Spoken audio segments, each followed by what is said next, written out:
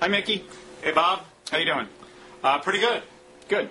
I was attacked, though, Oh yeah. by, by the New Republic, where we both used to work for my high-handed dismissal of Ryan Lizza's argument that Barack Obama should run for president this time. Uh, and they have a point. what is their point? Well, first of all, what's your dismissal?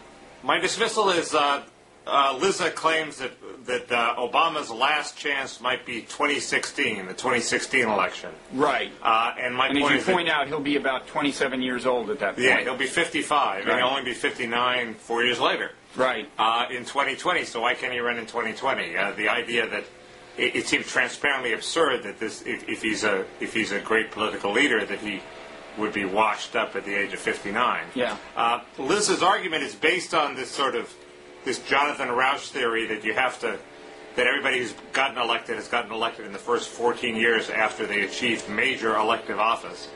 Uh, I always have problems with historical arguments like that. It's like the Chartists to say, well, the stock market did this before, so it's going to do it again. Yeah. Now that seems like a bizarrely arbitrary variable to focus on on theoretical grounds. Yeah. Also, um, it's also sort of wrong in that, you know, he counts FDR as only a four-year guy uh, of this 14 years because it took four years from the time he was governor of New York to the time he was president. But forgetting that FDR ran for vice president in 1920, which makes him a 12-year guy. Yeah. Uh, Lyndon Johnson was first elected to Congress in 37. Didn't become president until six. I'm know, persuaded already, man. You can stop. I think Chartist should become a pejorative by which you routinely Well- refer to these people, Mickey. Well, there is one sense in which which he's right. There are two senses in which he's right. First, Kennedy is an obvious parallel. He was a greenhorn senator without many accomplishments who demonstrated in the course of his campaign that he was competent. yeah, but hadn't he already run for president once for the nomination? He ran. He was nominated for vice president, I think. Uh, Well, he was, he- he was jockeying for either president or vice president in '56, right? right, and he'd at least he hadn't. I don't think he'd run. Um, good question. I should know that. So, so that would that would mean, I mean, it- so if we saw that parallel with Obama, that would that would mess things up because according to Lizza's argument, four years from now is a bad time for him to actually become president, right? Succeed in that. Right, although he, um, you know, he could be the vice president to a sitting president, which would be good for him, and then that'd be Yeah. fine. well, but I I just think the, the future is a funny thing, is my motto. You never know. I Right. think he's very gifted in everything. Um, I, I I thought you know the speech at the convention was extremely good. I wasn't sent into quite the frenzy that some people were sent in by it, but it was very good. He's very gifted, but I'd hate for him to become the. David Clyde of presidential politics. Do you recognize that illusion? no, I don't. uh, all-star high school pitcher who was pushed into the major leagues because he was such a star as a kind of publicity gimmick by Huh. I think the Texas Rangers, and that was the last anybody ever saw of him. He didn't get the seasoning. There's a rock guy like that, Ben Kweller. Um, but uh, the, the, the, the, the, um, the other problem is, I mean, the first problem is he needs some experience. He needs to have accomplished something. Okay, he can run for vice president. That's fine. Then he has some experience. Right. The second thing is uh, the opening in the Democratic Party is on the left in the anti-war camp. He is not in that camp. He is in the uh, sort of be responsible uh, straddle camp. Uh, the, you know, we have to But let's face, withdraw. let, but let's so- face it, his, his race will help him with the very people that that position would hurt him It would help right? him in a general, but it might not help him in a primary if he was up against a real anti-war candidate. Uh, that's Maybe not, but I think it would help. I think it would it help. would certainly help. Yeah. Uh, uh, and um, so, uh, anyway, uh, the, the the other point uh, Lizza makes, which is true, is that you know everything moves faster these days. So maybe maybe the current four-year cycle isn't suited to our current culture.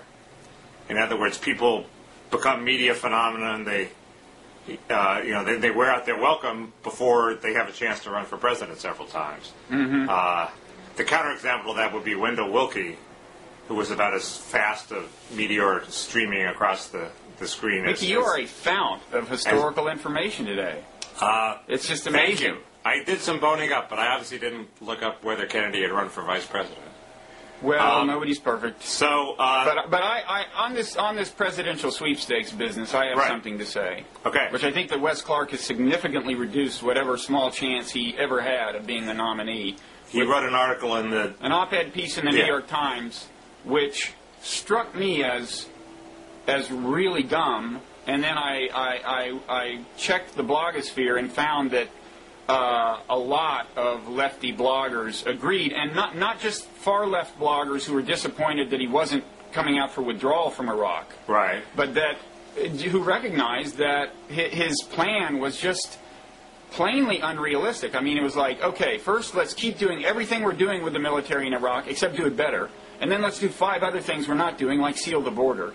And then let's get the Iraqis to do things like uh, stream oil revenues to the federal government and disband the militias, things they definitely don't want to do. Right, and and we've already us- tried to get them to do. And let us patrol the Iranian border, which they also probably don't want Yeah, it was do. just so bizarrely unrealistic that Well- I, I mean, I, I honestly think uh, I initially had hopes for for Clark in the last election. I really think the guy kind of has a screw loose. Well, this was, but this was just a, a, a piece of about how to give Wes Clark a defensible position. It wasn't a piece about actually how No, to. but there's some sort of. I mean, you got to maintain some kind of tethering to reality here. The it was just it was ridiculous. It was very similar to uh, those New York Times editorials that say, you know, President Bush must enlist the Allies in, in deposing Saddam militarily. Well, but the Allies weren't going to go along. Well, That and that's another thing a lot of Democrats keep It- saying too. But you know, he's a military guy. His credentials should be his his rugged realism or something. You know, it was pie in the sky. And It- and you know, like Kevin Drum, kind of mainstream, reasonable lefty Right, bloggers right, right. took him to task rightly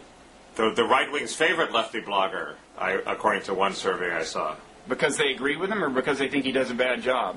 because they think he's reasonable, and they're right. He is reasonable. He is reasonable. Yes. That's not a bad thing.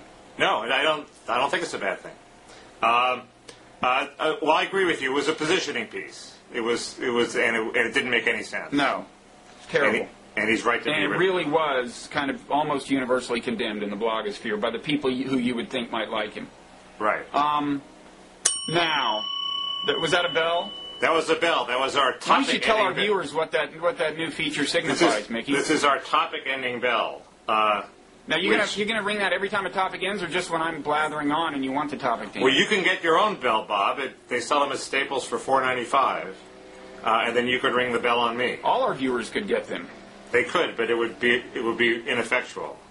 Uh, the, the the point is when we've gone on, it's a way for us to get out of a topic rather than just sort of doddering on into uh, senescence. Like We- what we're doing right now. yes, we Okay. get to we get so to it's a crisp- clean break, and we're moving on to the next thing. And here's what I want to talk about. Okay, You know, you have been known to uh, decry the left-wing media conspiracy, which you see signs of everywhere you look, notably the New York Times and sometimes CNN. yes, Um, and an example of that for you is the way you uh, supposedly the Jack Murtha withdrawal speech was overplayed. Well, the way they built up Murtha into like, oh, suddenly he's an you know an Iraq hawk turns critic when he's been a critic for years. Well, in any event, the Murtha withdrawal meme has has spawned a counter meme that I think has been overplayed by the media to the detriment of Democrats. But will you? Can you be counted on to, to take note of this particular uh, Oh. warping of the news? No, so I have to. Why don't you test me? Okay. It's the, you know, Democrats are in disarray over Iraq meme. You're seeing the story everywhere, you know. They can't, and it really was. It, it, it is a follow-on to the Murtha story because that led to a lot of debate within the Democratic Party. Well, yeah, Pelosi endorsed Murtha, but then the, the caucus won't endorse the position, and she doesn't even want the caucus to endorse the position, and Rahm Emanuel is pissing on the position. You so are, yes, are I would like, say that I are would say the, those you are are the meme come to life, Mickey. You are the personification of the Democrats in disarray meme. You're, you're, you're performing. Thank you. What's wrong with it? What's wrong with it is why should the Democrats be, you know, I mean, first of all, what's new? Democrats are always in disarray. But secondly, why should they be expected to have some kind of coherent, like platform-like position on this? A, Because they're not, moral the, they're not the governing party. A, B, they didn't get us into this mess. C, we have an election next year, but it's not a federal election, so you know it's fine for different Democrats to go to their different regions and say things that their different constituents You're not like. denying We they're don't in need disarray. one position. You're not denying they're in disarray. You're just saying it's okay I'm just that saying they're it's in not disarray. a very significant story yet. It's being treated as such. You, you're, you weren't denying that Murtha said we should withdraw. You were just saying it was being overplayed.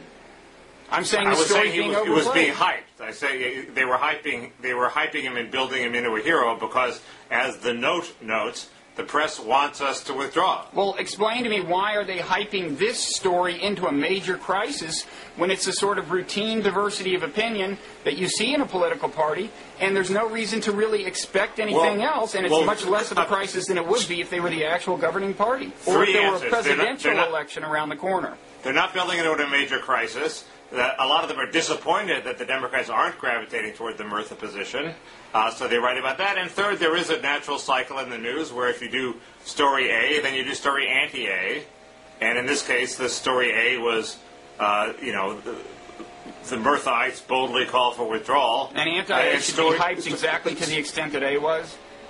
It isn't being hyped exactly to the extent it was. There are a couple of stories. There's a Robin Wright story in the Washington Post, and there's it, it- it's not nearly the the, uh, the the hype wave that the Murtha thing was. You don't see uh, you don't see uh, you know Richard Holbrooke on every talk show uh, saying we shouldn't set a timetable for withdrawal. That's what they would do if, Mickey, if I they were hyping review, the I, I can now reveal to our viewers that moments before we clicked the button and went live while we were talking on the phone, I said, now, it's not my imagination, right? This Democrats in disarray meme is all over the place, right? And you said, like, oh, yeah, totally, man. It is a meme. It's all over the place, but it's not as big as Murtha. That's my position. and I'm sticking to it. Oh, okay.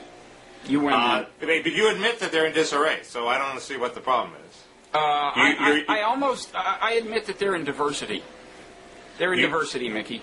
You're, you're, you're just you're just uh, you're criticizing the media for is a pointing this word out. for when order is to be expected or, or especially desired. People are moral actors. If, if the Democrats were president today, what would they do? That's a very reasonable question to ask. Right now, we're in Iraq. Would Well, they withdraw? but would they stay? actually, Seems to me to be a responsible opposition. You should answer that question. Actually, a successful Democratic candidate for the presidency does not have to say, I would do something right now that's radically I different didn't from say what Bush. Can I, I said excuse be me, moral. hello? To, Can I finish the should, sentence? He should have a position. Mickey does not uh, that that kind of candidate does not have to say I would do something radically different from from Bush right now. Uh, you know, they can say, look, I would do something more or less like what Bush is doing right now, but I wouldn't have gotten us into this mess. Well, right, and some are saying that, and others are saying no, they would do something radically different, and that's why they're and in let disarray. hundred flowers bloom. It doesn't matter right now. But I will say, speaking of this, that uh, among the, the the hundred or thousand flowers uh, was Howard Dean, you know, doing the predictably stupid thing. I mean, that guy truly has a screw loose. Okay, we agree on that. Yeah, saying basically, look, victory in Iraq is impossible. I mean, you know, if you are in politics, there should be whole regions of your brain devoted to keeping you from uttering two or three sentences. Things like, there is no God, we can't win a war we're in, you know.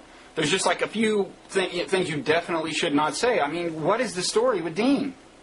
Well, he's trying to he's trying to I think keep the the, the base happy sort of off the radar screen. You don't see him on. I, I just think he lacks impulse control. I really do. I think that's always been the problem with him. He just gets excited. He's like me, except he made the mistake of going into politics. um, and I will not forgive him. However, another I'm not person, going to argue with that. You're another right. person I will not forgive is is a blog that's a member of the the uh, upstart right wing blog network Pajamas Media responded to this faux pas of Howard Dean's by depicting him as Hitler, complete with swastika and mustache. Now I thought that was going a little bit overboard. Who, is, and who in did fact, that? 'Cause I, I, I, I'm friends with a lot of the pajamas people. I Well, mean, I'm they not hang, shocked. I did describe it as They- upstart and right wing, did I They not? hang around, right? Exactly right. That, but, but yet they like Kevin Drum better than me. Who knows? Uh, but what, uh, they hang around Los Angeles, uh, and I wish them well. I almost joined them. So, uh, who, who, who Instead of me, who would I be talking to now? you be talking to a member of Pajamas Media? But who, who, uh, who's, who, whose blog said this? What's it called? It's called it's it's it's a it's a it's a takeoff on it's a variation of an Ayn Rand named it's Atlas Shrugs or something. Oh, okay. I Never don't think heard of it? Yeah, I've heard of it, but I don't think that's one of the huge ones. But so yes, so so um, No, but it's despicable. It's despicable. It really is. okay, I agree with you. Well, is pajamas media going to disavow it or, or, or do anything? It's a violation of the Hitler rule, which is you should never bring up Hitler. That's right. But uh, I don't know. Um, but I, do we want to call on them to condemn this person? I mean, it, it seems to me that then you're in the slippery slope. I to call on them to condemn this person. Okay. Uh, you you could also go to Pajamas Media and see their sort of pathetic, fake uh, imitation uh, of, of, of our rich media experience, they have a debate between Mark Cooper and Michael Ledeen, Cooper on the left, Ledeen, of course, on the, on the right, about Iraq, where instead of showing them interacting on video, they just have uh, successive blog entries uh, with their photographs, which is not nearly as, as That compelling. is like so yesterday, man. it's, it, yes, I agree. It's, it's, it's, it's totally lame, but the debate is actually pretty good. I actually urge urge people to go there because Cooper Cooper defends his position well, and Ledeen isn't as as wacky as his reputation. Uh, Well, that, that's setting the bar pretty high, Mickey. he's a pretty. It's a good debate. I recommend it, even though it's not a rich media experience. Yeah. Well, oh, there's the bell. Time There's to the move bell. on. Time for a new topic. Uh, I want to say something about this Palestinian Palestinian professor in Florida who was um, partially acquitted, and in any event, uh, entirely beat the rap for now. Uh, he was acquitted on some counts, and there was a hung jury on others. And the- these counts related to his, in various ways, aiding and abetting tor- terrorists. This is Sami Al Yes. Yes. Now, let me stipulate at the beginning that I do not know the facts of the case. Right. Nonetheless, I'm going to make the claim that this headline in the New York Times is in one sense misleading. It says, Not guilty verdicts in Florida terror trial are setback for U.S.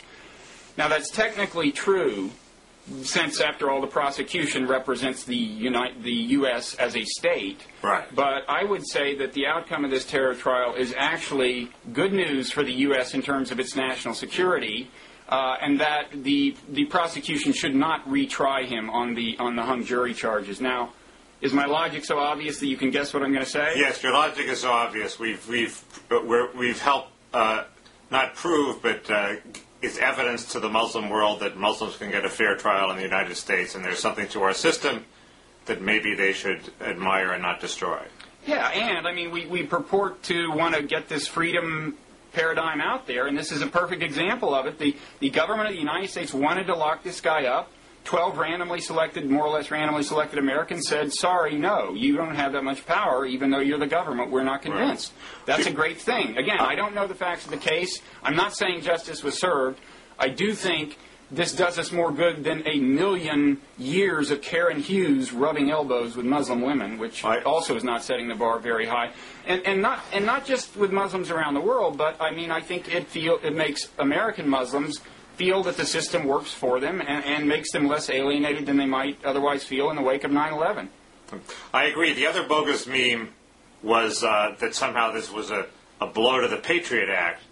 Uh, well, the Patriot Act, you know, let a lot of evidence into this trial. The Patriot Act doesn't say that the evidence has to be persuasive. Uh, it seems to me it's a victory for the Patriot Patriot Act. It showed that they could get in the evidence and juries could accurately assess them, assess the evidence, and they weren't going to be blown away by the fact that this was secret, clandestine Patriot Act evidence. So it seems to me the Patriot Act worked fine. It's the the prosecution didn't prove his case. Do you think they'll retry him? Very good question. This will be a good test of, of uh, at what at what level is that kind of decision made? In this case, it could go up pretty high. I right? assume the I assume Gonzales. Yes. Well, this will be a good test higher. of his wisdom. Um, well, he'll do whatever will help his career. So Unlike other people. could go either way. True. Um, cool. Uh, can I ring it? Yeah, We we agree. I think we agree. I think this is a brilliant device. Yeah, I, I really, I, my, my hat's off to you, man. Uh, I think that, that that you know that brainstorming session we had the other day really paid off. Oh, and yeah, and this is a this is the first in the rollout of of of, very, of cutting edge devices. That, Of a, a, an avalanche of blogging head gimmicks yeah. in the weeks ahead. Yeah. Cool. So is that is that the end? That that was the, the- final bell? That was the twelfth round. I think that was the final bell. Okay. Um, uh, uh, see you soon. See you next time. Okay.